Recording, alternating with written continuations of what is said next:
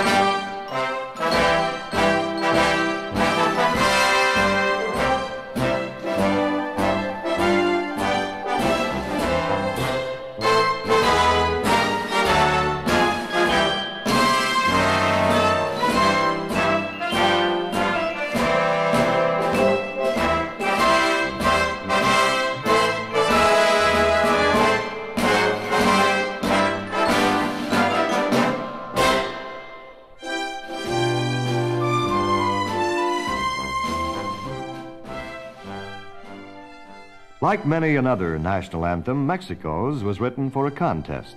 The words for the anthem, Mexican Brethren, was written by Francisco Bocanegra. Unfortunately, the first melody set to Bocanegra's words left the Mexican public indifferent, and thus the government offered another prize for a melody to be set to the poem.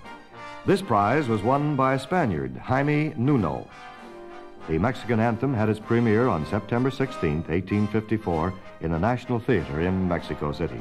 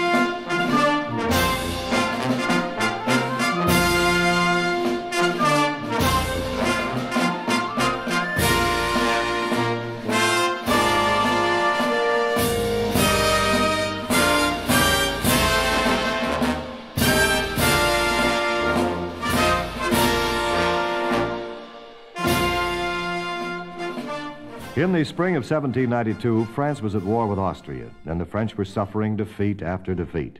Many Frenchmen were alarmed for their country. One such was the mayor of the city of Strasbourg. He felt that a stirring national song was needed to rally the French forces, so he asked a Captain Joseph Rouget de Lisle, who had written many fine songs, to compose an anthem for France.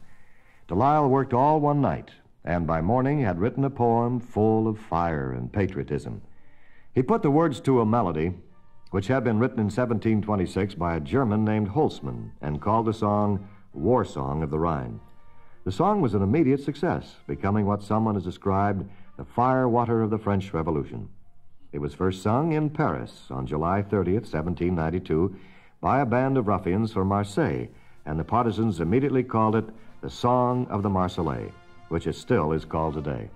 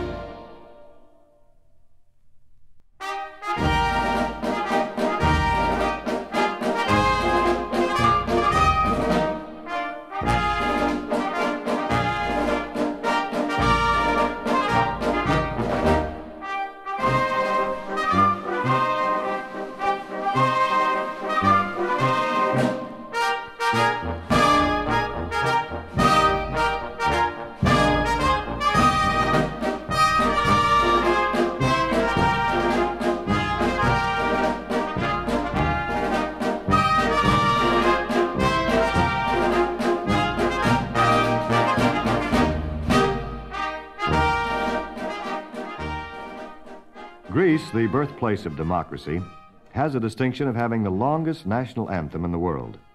It has no less than 158 stanzas.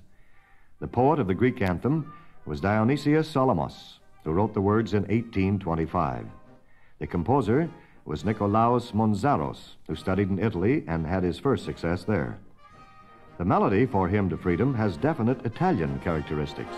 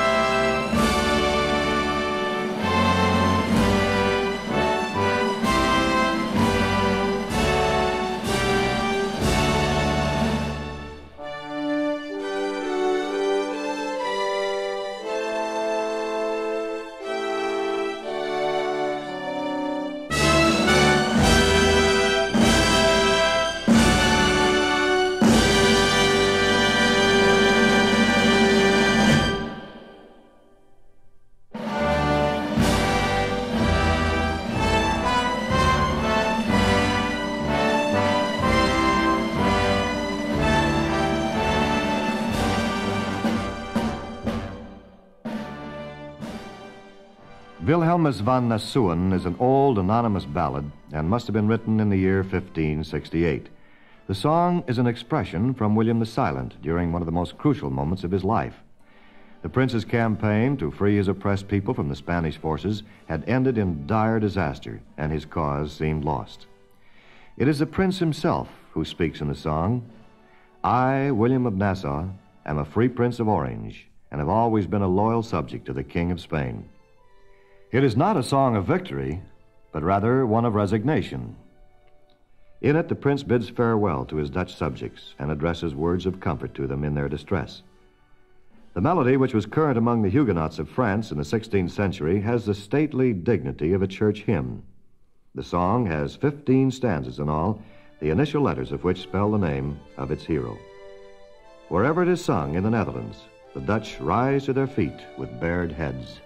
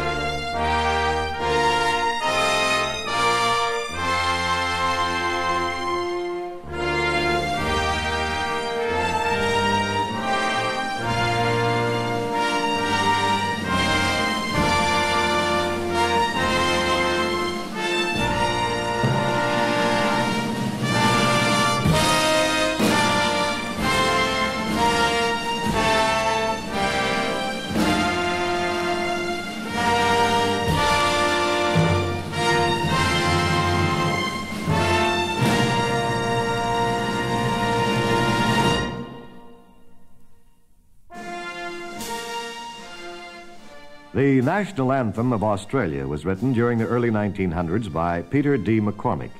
In a letter he wrote in 1913, Mr. McCormick told how he came to write Advance Australia Fair. He says, One night I attended a great concert in the exhibition building in Sydney where all the national anthems of the world were to be sung by a large choir with band accompaniment. This was very nicely done, but I felt very aggravated that there was not one for Australia. On the way home in a bus, I concocted the first verse of my song, and when I got home, I set it to music. It seemed to me to be like an inspiration, and I wrote the words and music with the greatest ease. In Australia today, all Australians stand while the orchestra plays Advance Australia Fair right after God Save the Queen.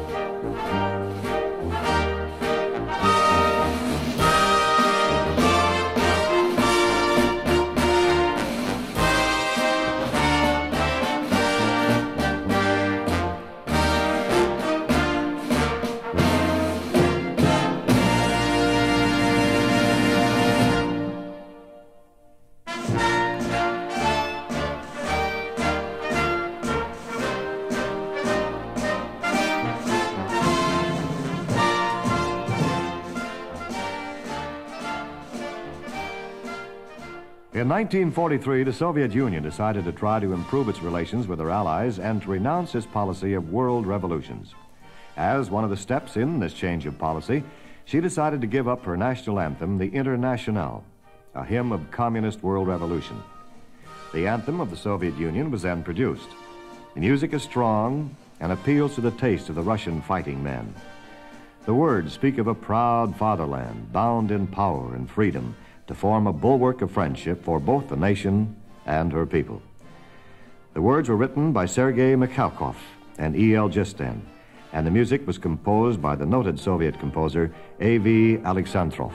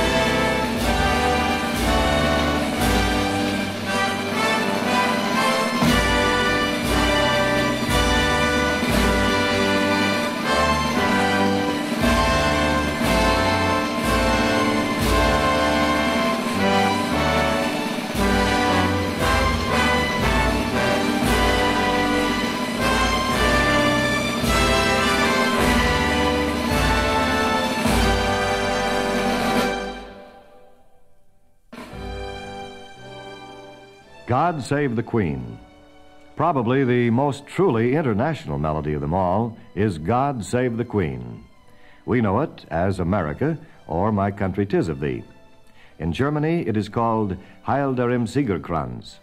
The Danish adopted it as an anthem as early as 1790 with the long title Song for the Danish Subject to be sung on his king's birthday.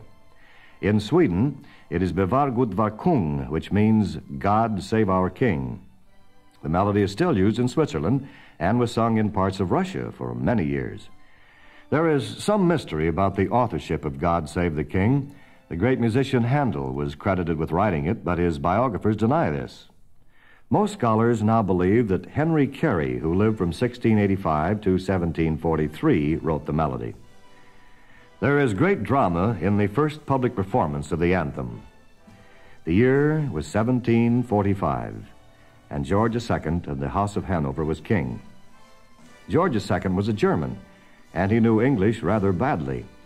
Though a German, he fought brilliantly at the head of England's armies against the French in the Battle of Dettingen. Nevertheless, many Englishmen who were followers of the pretender to the English throne, Edward Stuart, hated the foreigners from the House of Hanover.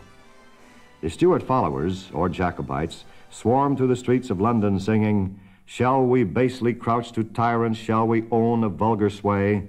Shall a royal Stuart be banished while a stranger rules the day? The party of the kings, the Whigs, were much worried by all this. They began searching for a song, a prayer for the king, which could be sung to the theater crowds in London. And they found what they were looking for in God Save the King. A special arrangement of the song was made by Dr. Thomas Arne, who had composed England's other anthem, Rule Britannia. On the evening of September 28, 1745, at the end of a theater performance at the Drury Lane Theater in London, some carefully rehearsed men began singing softly, God bless our noble king, God save great George, our king. Other voices took up the song until everyone in the theater was singing and the song spread like wildfire all over England.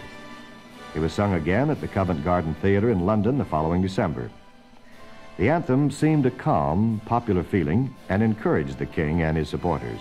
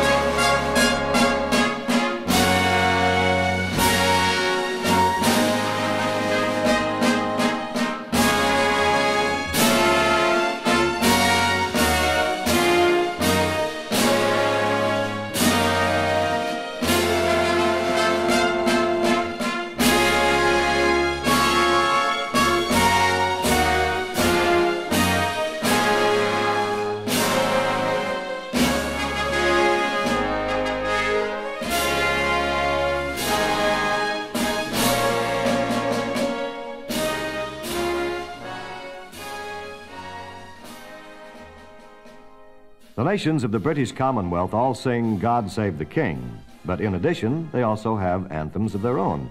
Canada has two The Maple Leaf Forever by Alexander Muir and O Canada by Sir Adolphe Routhier, who wrote the French words, and Calixte Lavallée, who wrote the music. English translation of the words was made by Dr. Robert Stanley Weir. Strangely, both Canadian anthems were composed for contests and special societies, the first for the Caledonian Society and the second for the St. Jean Baptiste Society.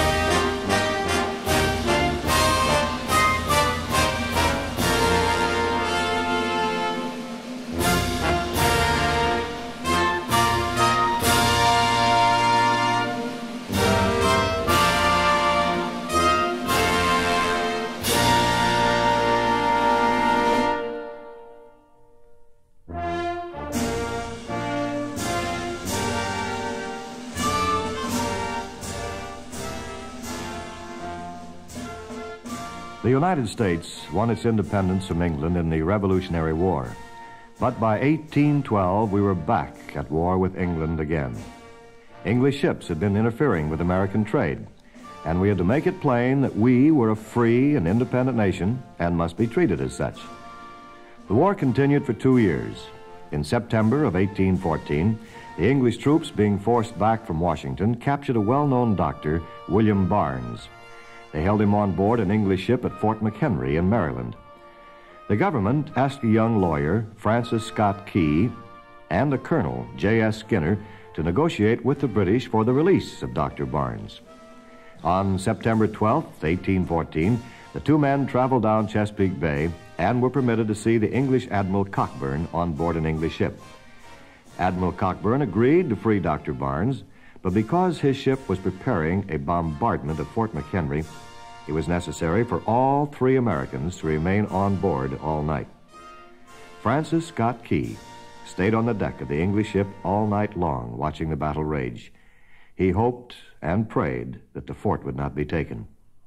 By the dawn's early light, he saw the American flag still flying proudly over the fort. He immediately began to write the words of the Star Spangled Banner. During the night, he had heard the English officers and men celebrating what they thought was a victory by singing a song called To Anacreon in Heaven. This was a popular English song, the melody of which had been composed by John Stafford Smith. Now, the words Mr. Key wrote fitted this melody. Thus, as is so often the case with national anthems, more than one country contributes to the final song. So, the Star Spangled Banner, like God Save the King and many others, might be called an international anthem. It was over 100 years later, on March 3, 1931, that Congress officially made the Star Spangled Banner our American national anthem.